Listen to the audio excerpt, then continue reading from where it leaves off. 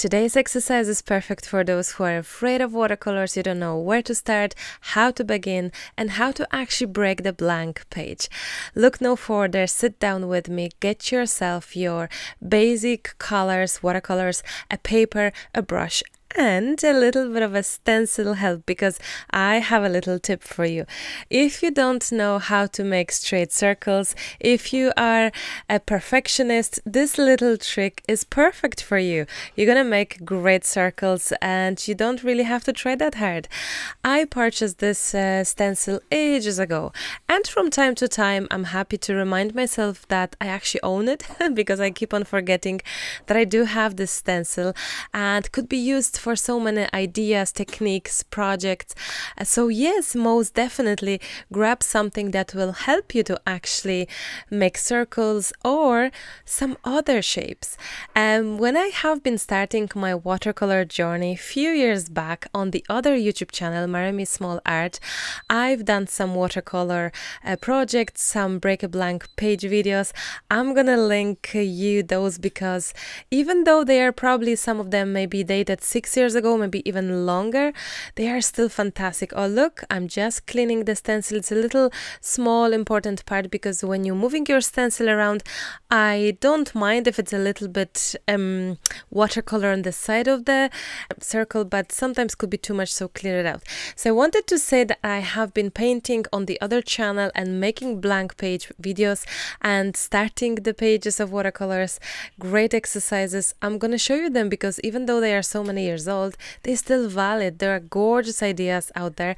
And this one is kind of like like a newer version, different version of circle pages I've done in the past because you know what honestly i think it's all about the exercise it's all about just trying to do a little bit of creative stuff and sometimes the simplest things can be really the most fun like this exercise where really all you need is a little bit of uh, time and just to have fun with your supplies I'm doodling around my circles as well because I just love that technique. I love my pilot pen. It is just fantastic and it giving me this doodly arty feel now.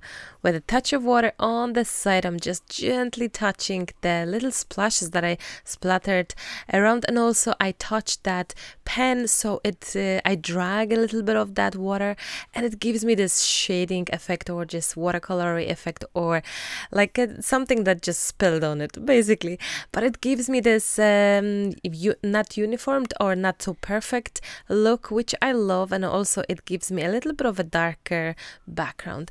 Now my next step is something I totally love which is using the gorgeous gold paints. The accent of gold is making it. And I just was wondering, what can I add to my circles? What I would love. And then it came to me, it hit me. It was like, Marta, your golds, either glitter or golds. These are your two absolute favorites. I think metallic paint in between those lines of the pen is just amazing little touch.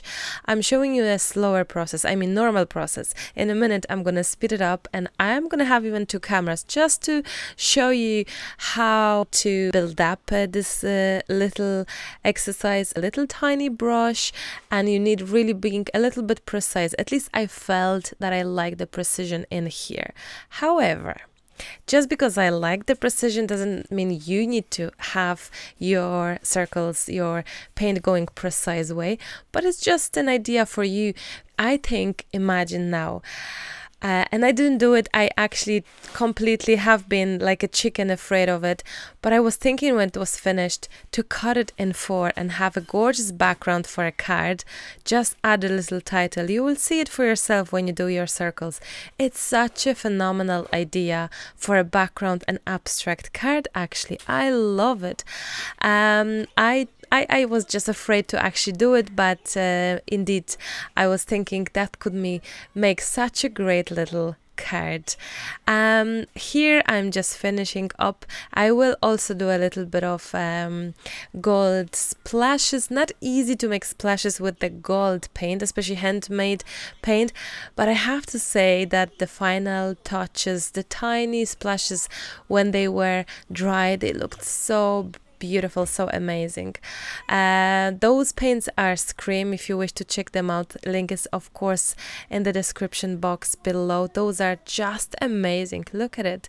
The pigmentation is amazing and it's such a simple exercise. Thank you so much for watching. I'll chat to you soon. Happy painting